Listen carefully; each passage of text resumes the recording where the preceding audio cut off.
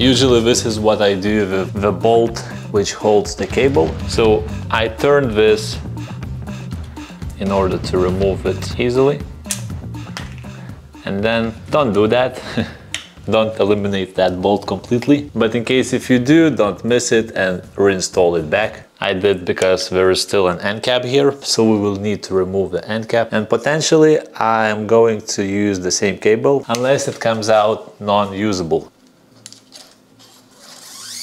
And the shocks one has some bend here.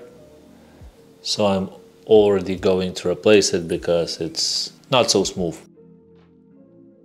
I kind of thought that they have Sparks cables, but apparently I no longer have them, so I will just install the new cable shock as well.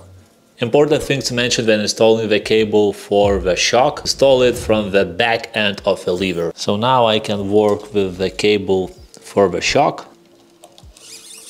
So at the barrel adjuster, make sure that you turn it almost full stop to the end.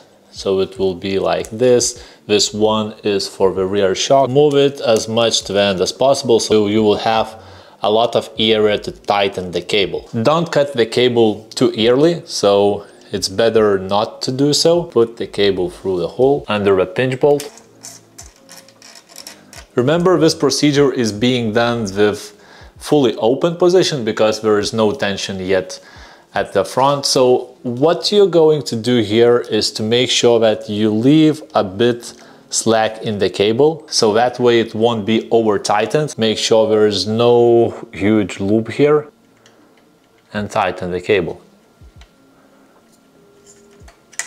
What this essentially is going to do is to make sure that the cable st sticks in place and with barrel adjuster you will be able to adjust the tension so we will see whether it will need a bit more tightening once everything is set up there but this is just initial beginning if you cut it too early then you might have to add yet another cable. Now it's time to install the wheel back in order to be able to put the bike on the ground and make adjustments to those cables. And now the rear, so it doesn't lock still. We add tension, not yet not yet all right so I guess if this wasn't cut in I will have to repeat the process made previously because there's not enough tension and we almost run out on the barrel adjuster.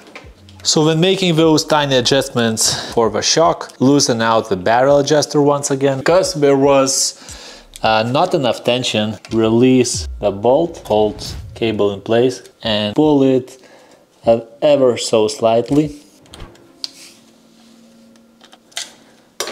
One important thing to mention about the rear shock is that once you tighten the cable, the new title should be straight ahead at top, so that way you will know that it's not too over tightened. That's it. We are done with this. Apply the end caps, cut the cables, and we'll be off to go. Now I can enable the lockout. When applying the end cap, you can enable the lockout.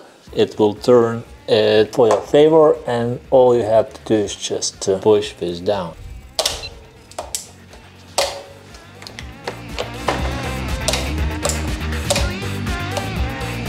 Lockout doesn't work, so basically TwinLoc just broken down. Have you heard something like that? If you didn't, now you will.